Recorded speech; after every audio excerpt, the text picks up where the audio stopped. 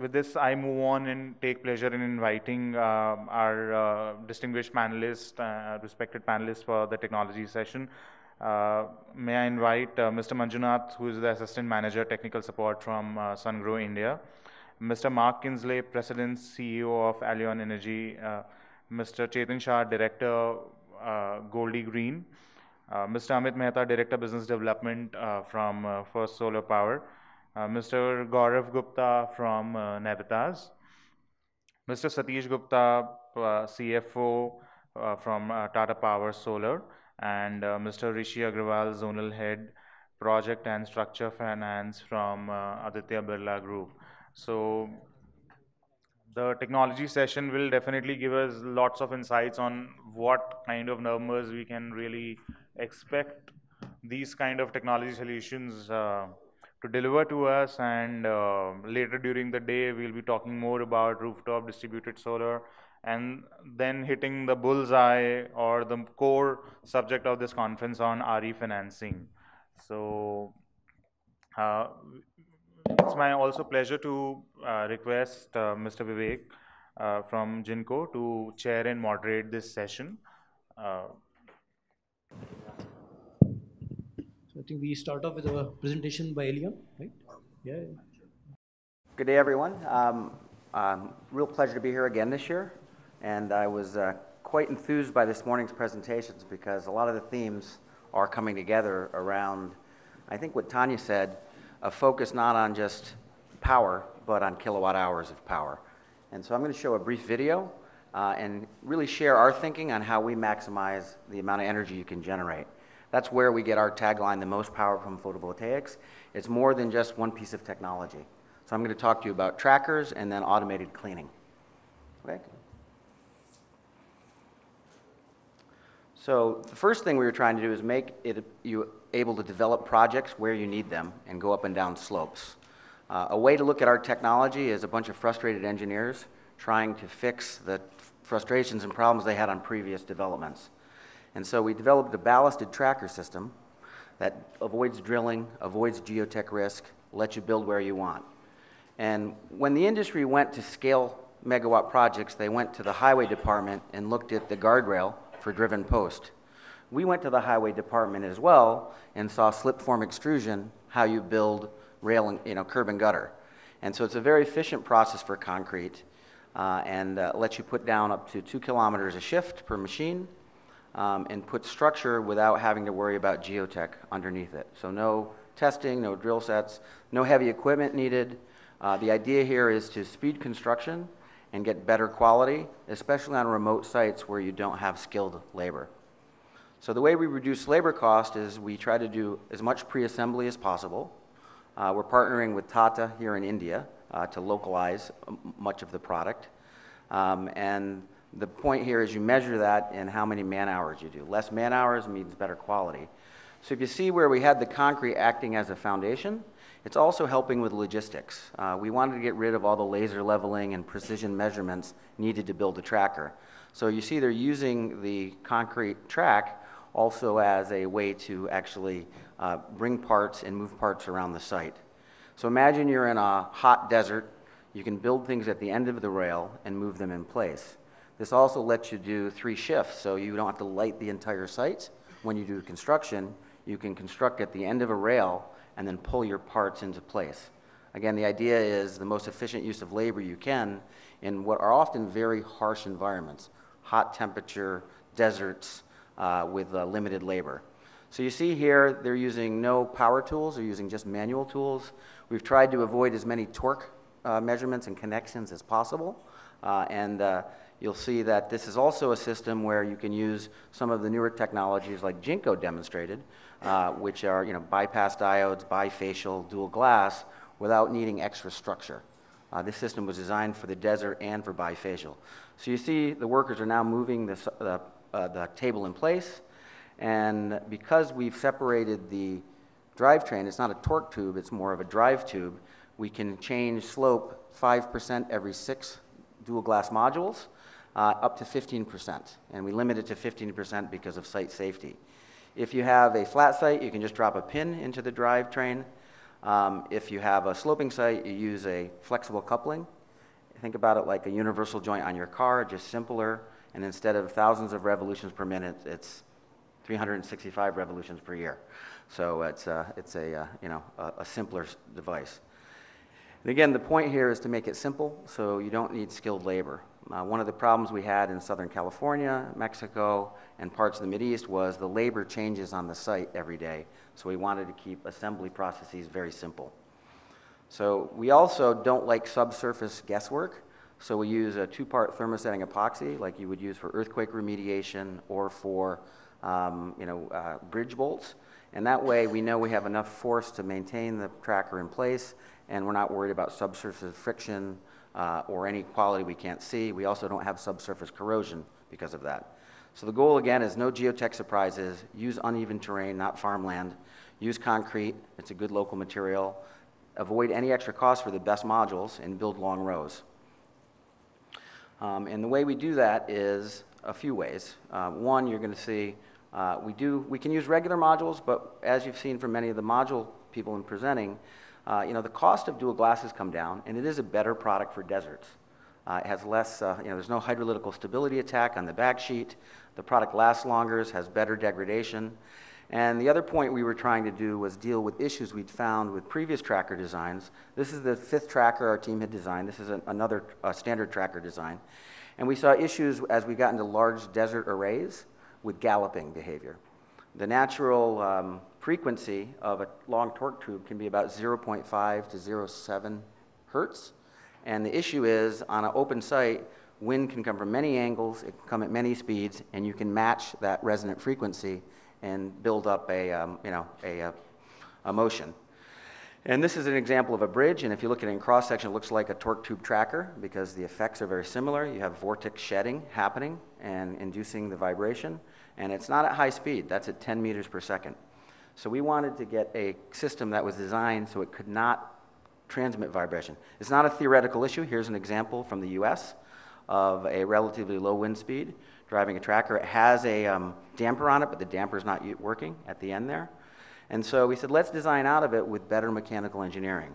And we do that by using a couple of gears. One gear you'll see in our system increases the stiffness.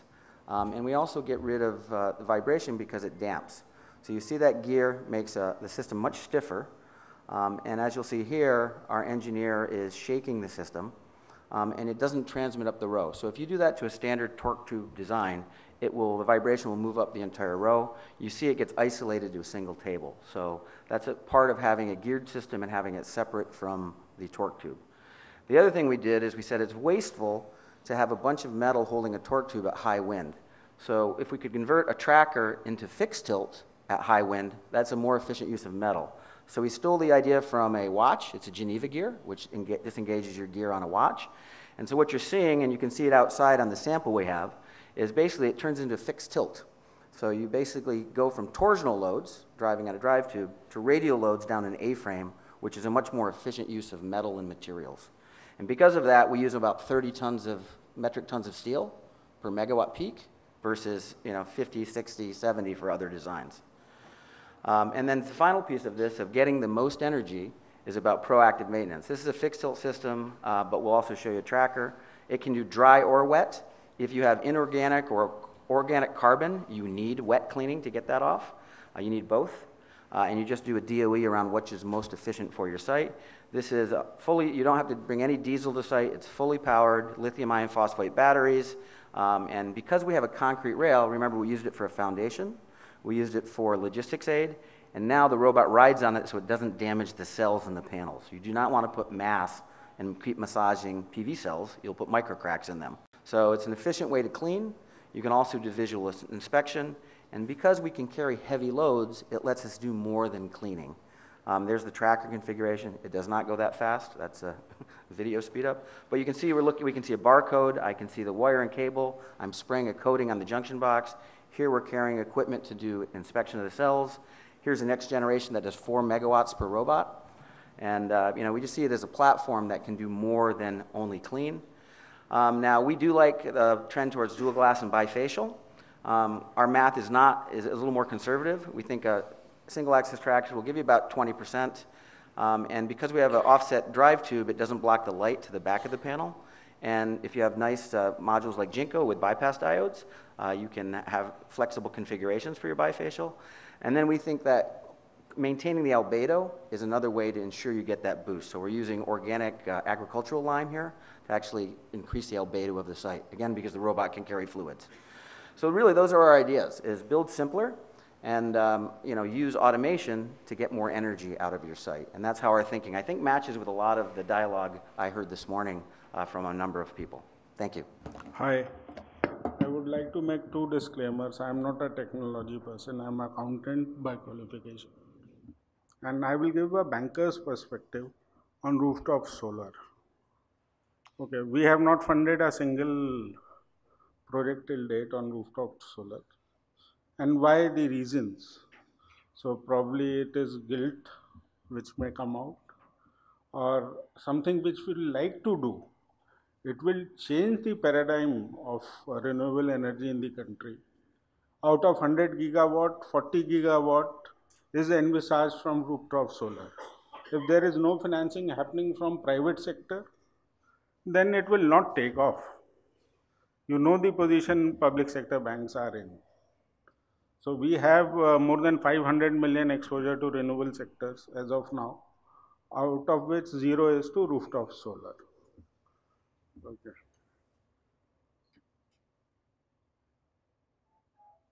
You're not coming where? Okay. So basically, the grid connected uh, solar is the best solar form which can be done. Uh, your uh, you are connected to grid, any excess power you are supplying to grid, uh, there is no requirement of battery, etc. So the second option is off grid. Off grid system will probably mean that you need to have a battery. Battery cost has come down from $1,000 uh, per kilowatt to uh, now uh, 325 per kilowatt and it will come down to 100 per kilowatt. Once Teslas of the world start manufacturing in mass and Chinese producers start copying, it will be $100 per megawatt, kilowatt. So once that happens, off-grid will be a very viable option. Uh, it is. It will be presentation will be shared with you all if you want.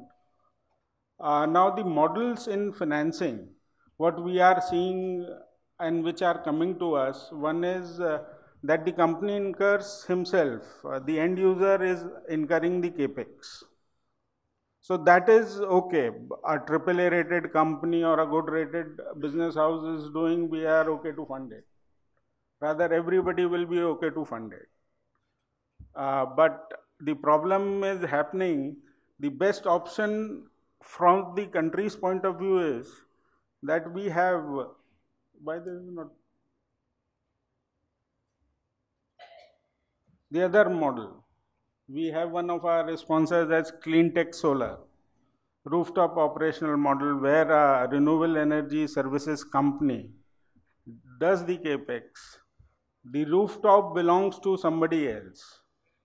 Okay, just imagine how many rooftops are available in the country. If we have the solar panels installed there, which is lying idle. I live in Mumbai, my hometown is Mumbai and uh, in a 30 story building, you are not allowed to go on the rooftop. So, rooftop is idle. Okay. So, you can utilize that space to put up. Now, the problems happens. Uh, my legal friend Karan is also there from Luthra and Luthra. He differs that you can, he says you can have a soundproof contract. But contract is a piece of paper in India. Your government agencies don't honor contract. What about private agencies? If my housing society today enters into a contract, he cannot enter the premises. If the housing society does not want, he cannot enter the premises. Where you will go enforce the contract? So if the tomorrow, imagine a situation tomorrow the technology changes and the generation on a given space or a given panel per square kilometer generation multiplies. We are talking about 25 year contracts. Okay. Today, we may see efficiency coming in 10%, 12% on a yearly basis if the efficiency, cumulative efficiency is more than double. Why the same housing society will allow the old panels to be installed? Okay, except contractual obligation. So this is, these are the issues which as a lender, we are very reluctant to take a call. And the factor is compounded by the fact that your government agencies don't honor. So they set a precedent. We used to learn in our NCERT books, Taha Praja Toha Raja. यहाँ तो top down approach है Raja says that I will not honour okay most of the problem is happening in states where the central party and the state level parties are same Okay, if you can't do that, where uh, I wanted to meet Manu Srivastava, he has not come. We have stopped funding in some of these states, even PPA uh, renewable projects. That is, it gives lot of discomfort. We were underwriting. Last year we have underwritten 4,000 crores of projects. This year zero. Solution is that the industry body either should go to the government says that boss this business is not viable. Okay.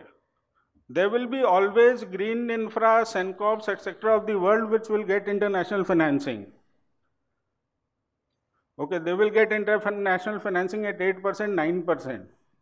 But if you want to really develop the business, especially rooftop, you need mid-size small players who will go to nook and corners of the country and put up capacities, small, small capacities. This is retail business. A large player, for a large multinational player, it is very difficult to do retail business in India. So the target profile changes. Probably a Hindu, Hindustan Lever customer can move to Patanjali, but not entirely. Okay. So we are dealing with different segment altogether. You have to go to small, small manufacturer, warehouse owners who have warehouse facilities. they they tried in Karnataka. We had sanctioned that facility and mess up happened in Karnataka with a PPA with government. So uh, you can have your views. I am just giving my views. Okay, probably not necessarily these are the views of my organization also, officially. But uh, since uh, we are informed people, uh, I'm giving my views why it gives discomfort to bankers. Okay, and why this is very critical. This is very critical for the country. Government themselves says that 40% of the additional addition in solar capacity needs to be from uh, rooftop solar. You are ready to give subsidy. You are ready to do everything on paper. There has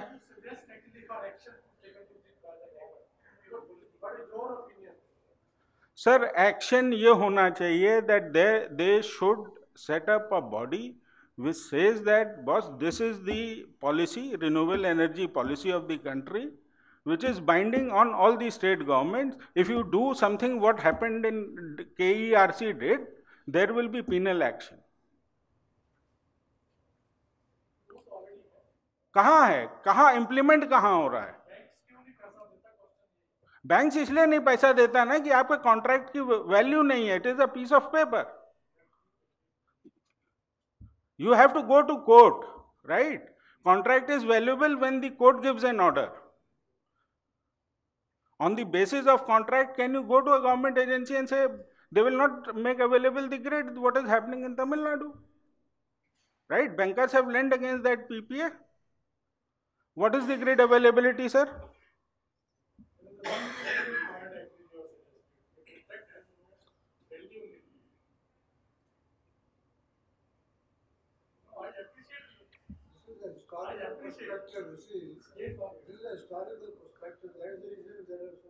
So, so, sir, solar panel without a PPA,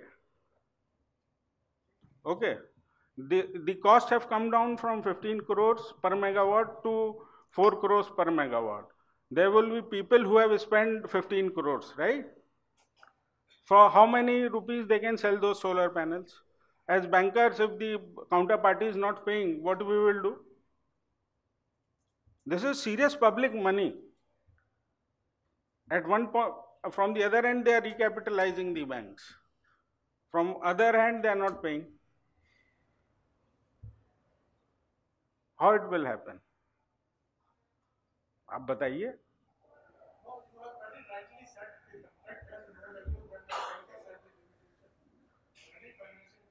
and and then and rooftop solar the other issue is that the access to site. As a banker we don't know. Our lender our borrower is very honest very diligent. He has put state of the art technology available at that point of time.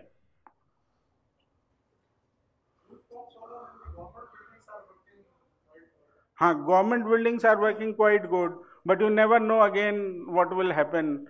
Okay, they bid at 4 rupees, other bid comes two and a half rupees, they have a problem in signing PPAs of 4 rupees. So tomorrow, if the, uh, the solar panels are installed with the efficiency of say 20 and the efficiency increases to 100, then they have a change of heart because we are lending 15 years money.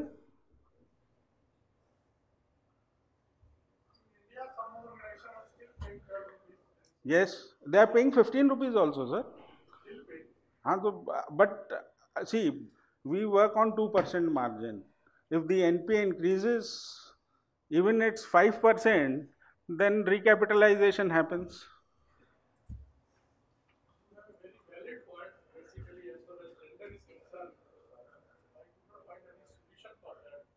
So, so the August company we have, you are working in an industry, right? We are equal partners. Rather, equity in a solar or any renewable project does not exist, exceed 30%. And if we exclude EPC margin, it is less than 10%. Okay. So आपका दस रुपया लगा हमारा नब्बे रुपया लगा है हैं तो we would be very conscious we earn only fix return there will be always well spun in the world who will make multiple returns. हमें तो दो परसेंट जो मार्जिन मिल रहा है we are concern about that margin only right we are taking a risk which is not commensurate with our returns.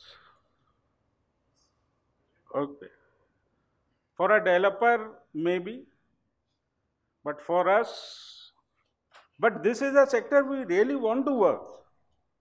I am discussing here because this sector needs to evolve and this will be trend setting for other sectors also.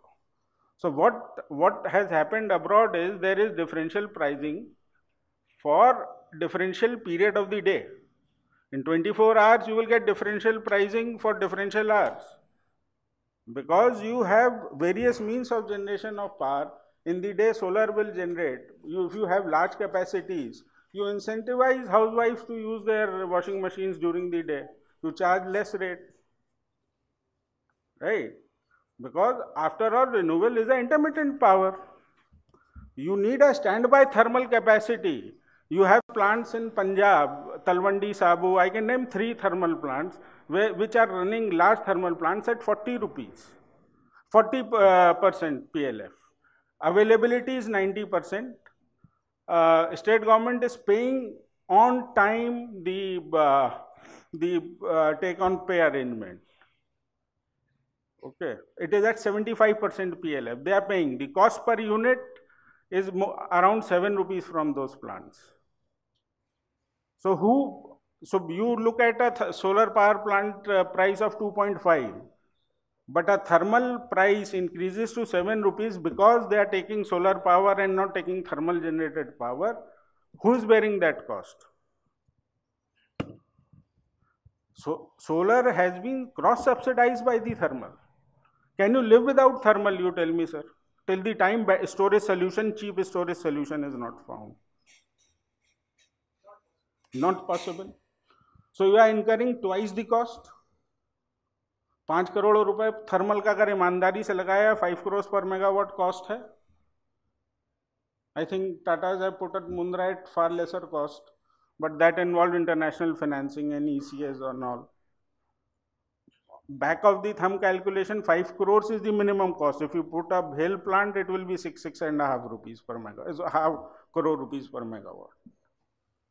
Then top of it, four, four and a half crores of solar cost.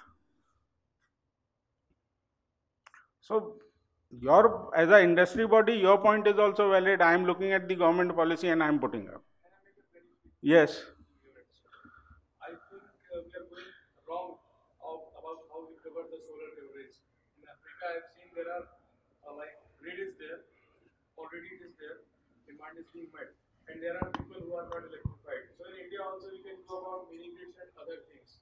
Yes. Because Yes. I don't think so that by adding so many kilowatt of power going to solve. Yes. Yes. Yes. Yes. Yes. Yes. Yes. Yes. I agree, sir. There are places where the grid avail- grid itself is not present. So off-grid solution, but you require a battery storage.